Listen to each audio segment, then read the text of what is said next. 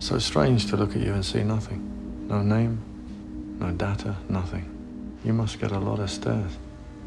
I don't go out much, and when I do, I keep my head down. People think it's a mistake. Why not use an alias? I don't want to exist as someone else. I don't want to exist. You have a name. I do.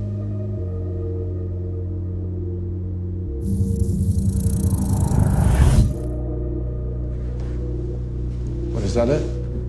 I don't mean to be rude. I got another customer. What about people with memories of you? Like me. You can't get rid of memories.